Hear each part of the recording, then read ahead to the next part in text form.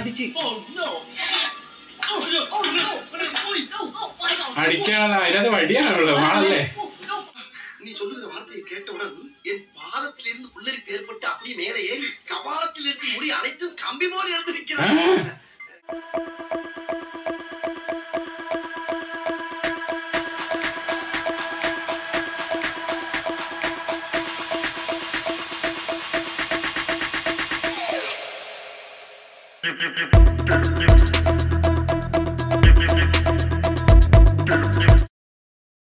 Enjoy പുതിയ reaction വീഡിയോയിലേക്ക് സ്വാഗതം. അപ്പൊ നമ്മൾ ഇന്ന് റിയാക്ഷൻ ചെയ്യാൻ പോകുന്നത് ഇംസ അരസൻ ഇരുപത്തി മൂന്നാം പുലിക്കേശി മൂവിയുടെ അടുത്ത സീനാണ് ഏകദേശം എനിക്ക് തോന്നുന്നു ഇന്റർവെൽ ഒക്കെ കഴിഞ്ഞു. ഇന്റർവെൽ സീനാണ് നമ്മൾ കഴിഞ്ഞ പ്രാവശ്യം ചെയ്ത ആ ഒരു ആ ഒരു ഇന്റർവെൽ തന്നെ ഏകദേശം എഴുതി കാണിച്ചിരുന്നു തമിഴിൽ എഴുതി കാണിച്ചിട്ടുണ്ടായി.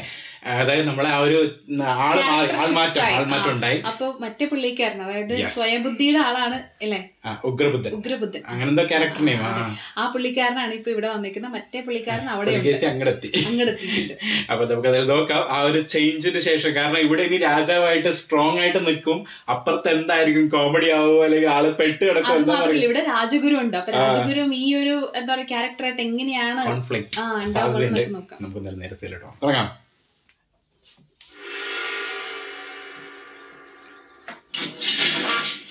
ഓ. ആൾ റെഡി ആയിട്ട് മീശക്ക് വെക്കണ്ടേ? അത്.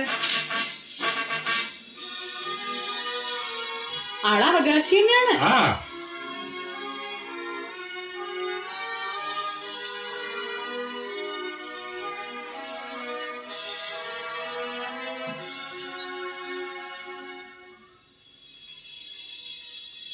ആ ആൾക്ക് ഓൾറെഡി അറേഞ്ച് ചെയ്യാലോ. അന്ന് പറയും ചെയ്തില്ല ഇവിടുന്ന്?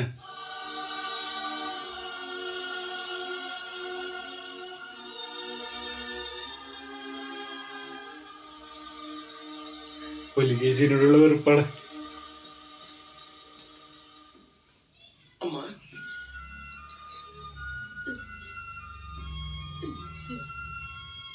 വൃത്തിക്ക് വിളിച്ച്.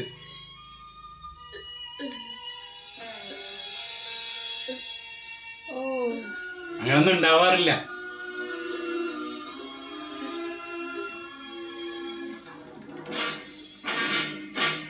ഓ. ആവാൻ പോണ് ആ ക്യാരക്ടർ അല്ലേ ആ ആ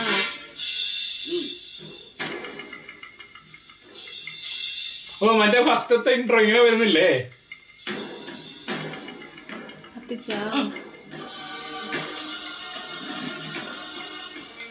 ராஜாதிராஜ ராஜ மார்த்தாண்ட ராஜ கம்பீர ராஜகுல திலக ராஜ பராக்கிரம ராஜ வைராக் மன்னா இம்முறையும் ராஜ குலோத்துகளை விட்டு விட்டான் சரியாகத்தான் சொன்னேன் மன்னா மொத்தம் ஏழு ராஜாதி ராஜ அரசர் வருகிறார் என்று மட்டும் அறிவித்தால் போதும் வீண் புகழாரம் வேண்டாம் அது ஆட்சிக்கு கேடு വരുന്നുണ്ട് ആ പറഞ്ഞാൽ ആ മതി ഓവർ വേണ്ട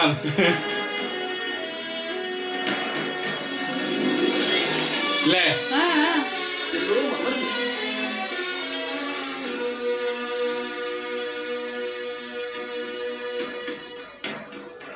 அமைச்சரே ഓ இது யார் சிலை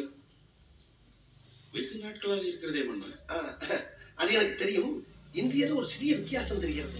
ஒரு வித்தியாசமும் இல்லை மன்னா. சர் ஜான் ஜோன்ஸ் நமக்கு பரிசாக அளித்த அதே மகாபிரபு ராபர்ட் கிளைவ் அவர்களின் சிலை நாம் வெள்ளையர்கள் மீது வைத்திருக்கும் ராஜ விசுவாசத்தின் அடையாளம். விசுவாசம். பலே பலே.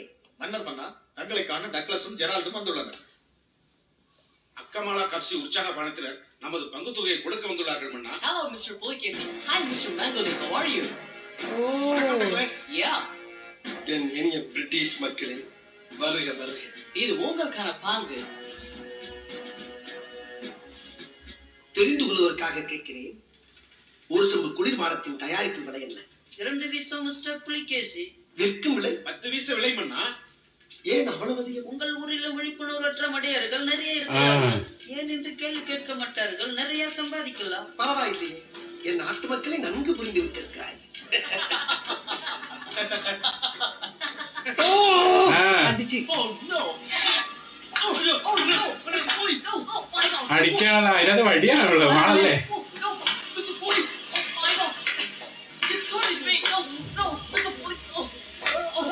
ஸ்மெல் புலி புலி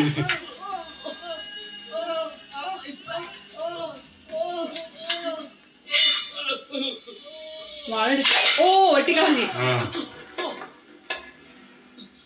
நயவஞ்சகர்களே விலைக்கு வந்த பிச்சைக்கார கூட்டம் எங்களை ஏமாற்றுகிறீர்களா உடம்புக்கு கேடான அந்த உற்சாக பணத்தை உங்களை இங்கு விற்க விட்டதை தவிர அதை கொள்ளை லாபத்திற்கு விட்டு எங்களையே சொல்லுகிறேன் இனி இந்த ஊருக்குள்ள ஒரு துளி உணர்ந்த பாலம் இருக்கக்கூடா இனி இந்த ஊருக்குள் நீங்கள் கால் வைத்தால் உடம்பில் உயிர் இருக்கா?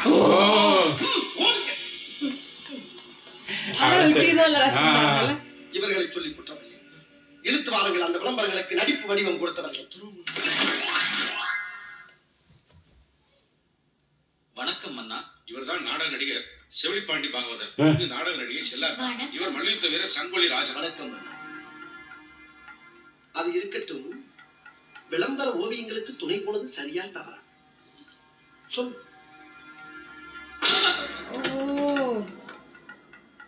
சொல்லம்மா சரியா தவறா വിളംബരത്തിന്റെ சொல்ல மாட்டாயா நீ பெண் என்பதால் தப்பித்தாய் ഓ പെണ്ണാ തന്നെ അടിക്കാത്തത് வெள்ளைக்காரன் புத்திசாலி நானும் கையாலாகாதவன் நீங்களும் காரியக்காரர்கள் அப்படித்தானே பணம் தருகிறான் என்பதற்காக தட்டில் எதை வைத்து கொடுத்தாலும் தின்று விடுவீர்களா ഓ பிராணிகளுக்கும் நமக்கும் என்ன வித்தியாசம் சுய புத்தி வேண்டாம் സ്വയബുദ്ധി വേണ്ട அமைச்சரே ஓவியனை வரச் செய்து நான் சொல்வது போல் செய்யுங்கள் மட்டுமா இருக்கு ഫുള്ള് മാറ്റം വരുത്തി ആ ആ.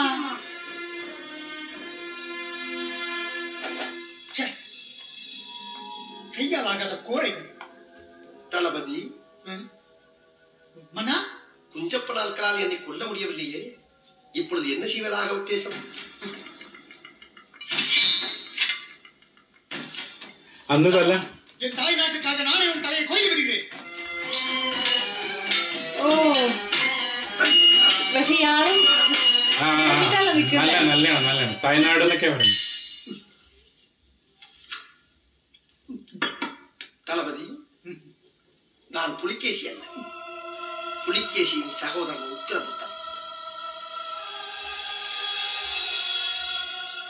ஆம் இதெல்லாம் தான் நடந்தது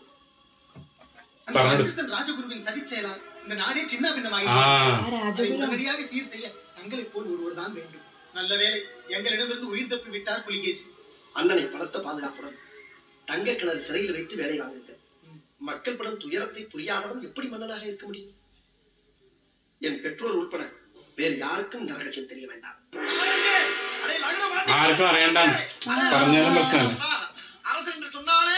അവരും തമ്മിലായിരിക്കും സംസാരിച്ചു അയ്യോ ഏൻ പിടിച്ചു വന്നാലും എതിർത്ത് വെളുത്താലും പരവായില്ല കുടിക്ക് തണ്ണീരാലും താറുകളാണ്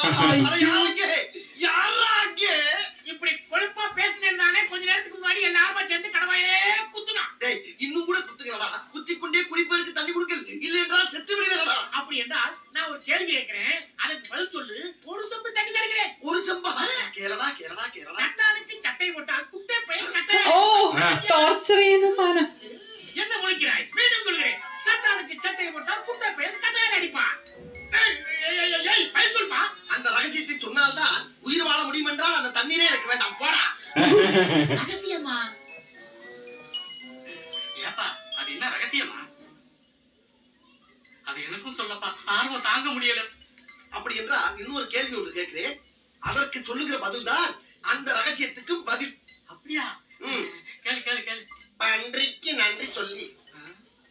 குன்றின் மேல் ஏறி நின்றார் ആ வென்றிடலாம் குலசேகரனை அது என்ன പണ്ടിക്ക് ഇങ്ങനത്തെ കൊറേ ചോദ്യം அறிவை மட்டும்தான் பயன்படுத்த வேண்டும் ஆயுதத்தை பயன்படுத்தக்கூடாது அப்படியே போட்டுருவேன் கேள்வி யாராவது மூஞ்சு முகர கட்டையும் பாரு ஒரு அளவு விடுவேன் சரிப்பா நீ எதற்காக சிரிக்கு வந்தாய் நான் உன்னைய மாதிரி குழப்ப மாட்டேன் தெளிவா சொல்றேன் சொல்லுப்பா இப்ப நாடு இருக்க நிலைமையில தங்க கிணறு அவசியமான ஒரு கேள்வி கேட்டேன். உடனே கெடா சட்டத்துல புடிச்சு உள்ள போட்டான். இந்த நாட்டை ஆண்டுகிட்டு இருக்கானே மாங்காய் மரைய புலிக்கேசி அவன்தாயா சொல்லியா? புடிக்கவே கஞ்சி இல்லாதப்ப. இருக்கியா மல்லிகை பூவே மாங்காய்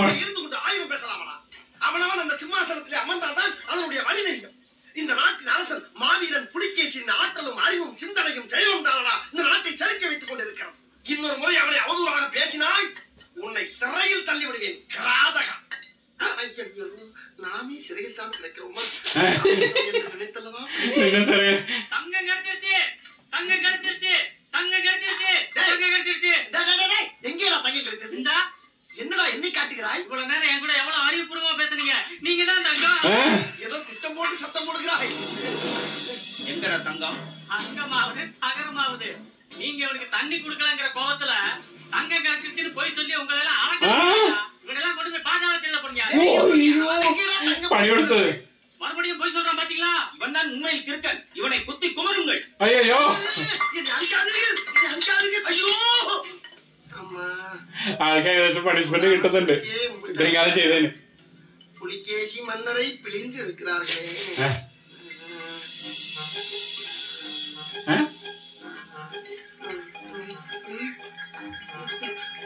ആരാ വെള്ളം കൊടുക്കുന്നു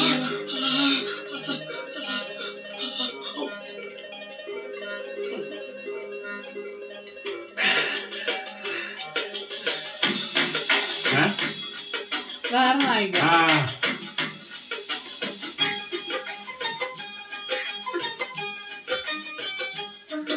ഏ, ഇവിടുത്തെ ഒരാൾക്ക് നായിക വേണ്ട ശരിക്കും അതാ സംഭവം മറ്റേക്ക് നായിക ആ, ഉണ്ടല്ലോ ആ, ആ. ആള് ഇത്രയും കാലം മറ്റേ രാജകാര്യങ്ങളും എല്ലാം ചെയ്തിട്ട് നായിക ഉണ്ടായിരുന്നില്ല தளபதியாரே இனி எந்த விஷயமானாலும் சரி நம் இருவரின் பார்வைக்கு உட்பட்டே நடக்க வேண்டும் മറ്റേ ആളെ ഇരുത്തി അവിടെ தளபதி மன்னா எதற்காக இங்கே இவ்வளவு பழங்கள்? யாருக்கு முதலிரவு அது முதலில் இதை எடுத்து செல்ல சொல்லுங்க வா யார் இந்த சிறுவன்? எடுபடி விலைக்காக என்ன? குழந்தை தொழிலாளி. வறுமையை காட்டி குழந்தைகளை வேலைக்கு அனுப்பியுள்ளார்கள். நீங்களும் குறைந்த ஊதியத்திற்காக இவர்களை வேலைக்கு வைத்துள்ளீர்கள். அப்படித்தானே? நமக்கு சம்பள பணம் மிச்சமாகும் என்று நான் தான் மன்னா ராஜகுருவுக்கு இந்த யோசனையை சொன்னேன். ஓ கிட்டு கிட்டு கிட்டு கையை நீட்டும் മറ്റേ ടൈപ്പ് അടിയാണ് അതിൻ്റെ ഉള്ളിലുള്ള പറയാ വാള് ഇവിടെയാണ് கொஞ்ச நாளில் உன் முகத்தில் துதிக்கையே முளைத்து விடும் நீர் மட்டும் உடம்பை வளர்த்துக் கொண்டு பிஞ்சுகளையா வேலை வாங்குகிறீர் கல்லஞ்சம் கொண்ட மூடனே தளபதி அரண்மனை மாடிக்கு மொத்தம் எத்தனை படிக்கட்டுகள் தொண்ணூறு படிகள் மன்னா ம், இன்று சூரிய அஸ்தமனம் வரை இவரை மொட்டை மாடிக்கு ஏறி ஏறி இறக்க சொல்லுங்க.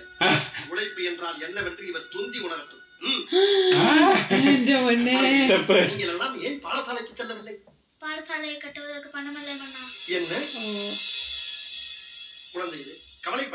நாளை முதல் நீங்கள் பாடசாலை செல்வீர்கள். இந்த பெண்கள் அனைவருக்கும் மாதா மாதம் ஓய்வூதியம் வழங்குங்கள். வேறு ஏதாவது தொழில் செய்து பிழைத்துக் கொள்ளட்டும்.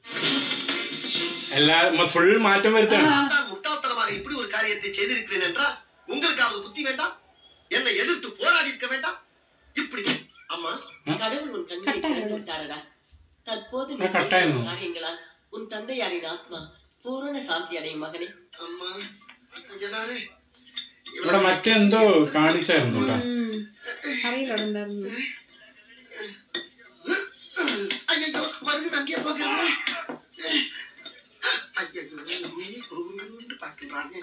என்னடா மாதிரி போற அப்படியா மாதிரி வர கல்ல தூக்கி போட்டு விளையாடுற? என்னாச்சு? அநேகமாக டங்குமார் அந்து விட்டது என்றே நினைக்கின்றேன் ஒழுங்கா வேலை செய்யறனா மிச்சம் மீதி ஆந்திரம் போய் மறுபடியும் அந்த கல்ல தூக்கி மேல போடு. நில்லுங்கள். அங்கு யாரை விடக்கூடாது என்பது அரசாங்க உத்தரவு. தயவு செய்து தடுக்காதீர்கள். என் மகனை பார்த்துவிட்டு நாங்கள் சென்று விடுவோம். சொல்வதை கேளுங்கள் பெரியவரே. அவர் என்ன பாடுபடுகிறாரோ அழாதே ഓ ഇവർക്ക് അറിയില്ലല്ലോ പോയത് ഇവരെ ആയിരിക്കും ഇവരെ ആയിരിക്കും இந்த தங்க கிணறு தொடங்கி வச்சதுக்கு என் புத்திய செருப்பால் அடிக்கிறது ആ தொடங்கி வச்ச ராஜாவே நோண்டி நோக்கி எடுக்கிறானுங்களே நான் என்ன செய்வேன் ആള് തങ്കക്കിണർ. ആള് തന്നെയാണ് തുടങ്ങി ആ വെച്ചത് ആ முடியல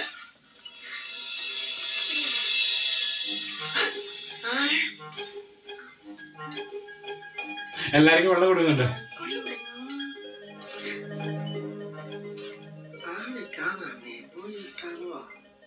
അവിടെ പോയി കിടന്നല്ലേ വെള്ളത്തിന് വേണ്ടിട്ട് மயங்கி கிடப்பது போல் நடித்தது போதும் எழுந்தறியுங்கள் பரவாயில்லையே ஆமாம் எப்படி கண்டுபிடித்தாய் இணைய போகும் இதயத்திற்கு தெரியாதா இணைய போகும் இதயம் அடாடாடாடா நீ சொல்லுகிற வார்த்தையை கேட்டவுடன் என் பாதத்திலிருந்து புல்லரிப்பு ஏற்பட்டு அப்படியே மேலே ஏறி கபாலத்தில் இருக்கும் முடி அனைத்தும் கம்பி போல் எழுந்திருக்கிறது உன் பெயர் என்ன? பொங்கல் பொங்கல் அடாடாடாடாடா. என்ன ஒரு ரம்யமான பெயர். உன் பெயரை உச்சரிக்கும் பொழுதே என் வாய் சர்க்கரை பொங்கல் போல் இருக்கிறது. ஆமா பொங்கல் பொங்கல் பொங்கலை பொங்கல் அந்த பொங்கல். பொங்கலா? சரி உன் பெயர் தான் என்ன? என் பெயர் சூலாயினி. சூலாயினி. இதுவும் மாலை சுண்டி இழுக்கும் பெயர் தான். அப்புறம்? போதும் ஐயா. சரி கொய்யா சாப்பிடுறீங்களா? கொய்யா? நீ நீ சொல்வது மெய்யா இதோ ஆ, ஏய், இதோ, ஏய், இதோ. ஏய், ஏய், பிடிச்சு- பிடிச்சிட்டல்ல? romance. ആ സോങ് ആണ് വരുന്നത് നീ സോങ് ഉണ്ടാവോ ஏய், குடு. ഇല്ല ഇല്ല சூலாயினி இடம் மாறியது கொய்யாக்கனி மட்டுமல்ல நம் இதயக்கனிகள் தான் இப்பொழுது கடித்து விடுகிறேன் thank you.